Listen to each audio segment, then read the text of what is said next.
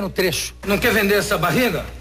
Alô, alô, seu Nabuco, aqui entrou um maluco. Não tem nada de maluco não. Eu sou J. Siqueira, corretor de órgãos. Eu vendo, troco, facilito tudo que é órgão, nariz, orelha.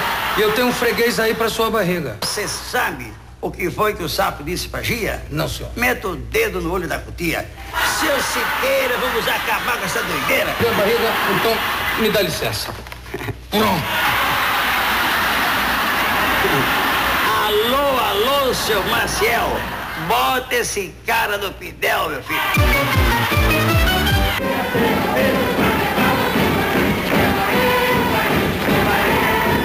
Na TV nada se cria, todo se copia. Minha não é bobo, não. Já conhece o